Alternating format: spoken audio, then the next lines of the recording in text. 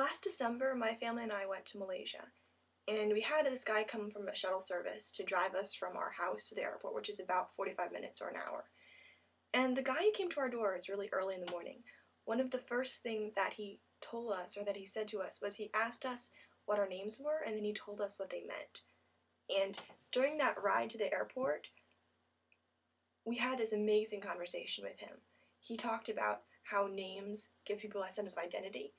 Apparently, one of the things that he does is that he goes to like birthday parties and different events and he tells kids what their names are and he gives them like little photographs or something like that with their names engraved on it.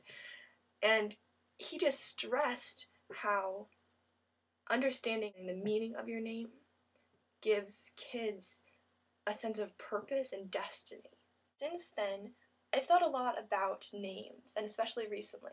So today I'm going to ask a question which is kind of ex- an excuse for me to talk about the subject. And the question is what is the value of a name?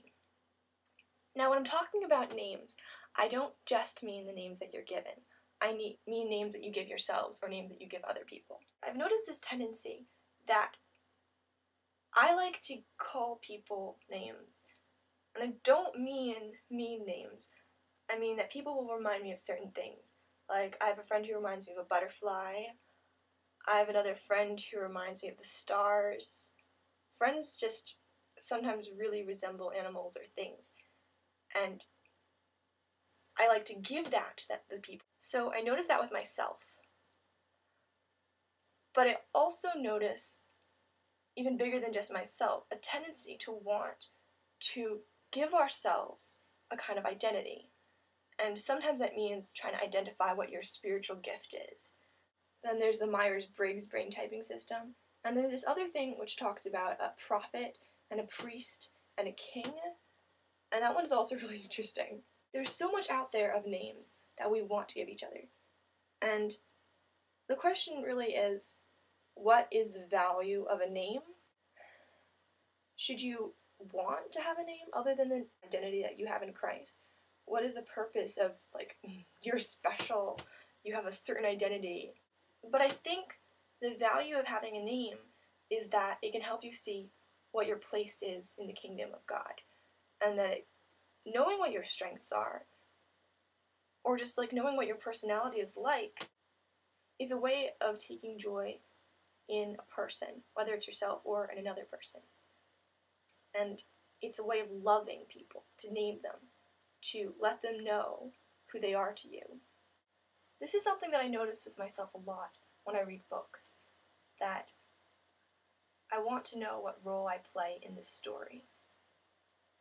And I I read The Great Divorce a few months ago by C.S. Lewis, and there's all these characters who the narrator, who's I guess Lewis, meets. All of them who could either be in heaven or in hell. I felt when I read that book like none of the characters were myself. Even though I kind of could identify with some of them, I just felt like I couldn't find myself. And it's like when you're in a crowd of people and you just can't find anyone like yourself. It's really lonely. I have this dear friend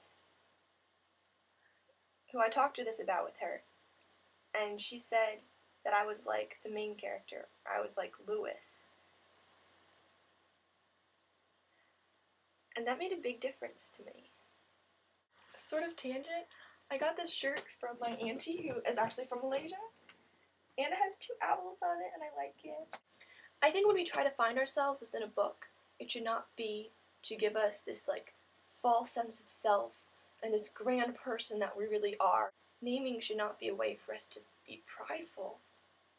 But when other people name us, it's a way of loving us. Like Isaiah talks about how God has called us by name and we are His. A name is a place, and it's a very, it's a very wonderful thing.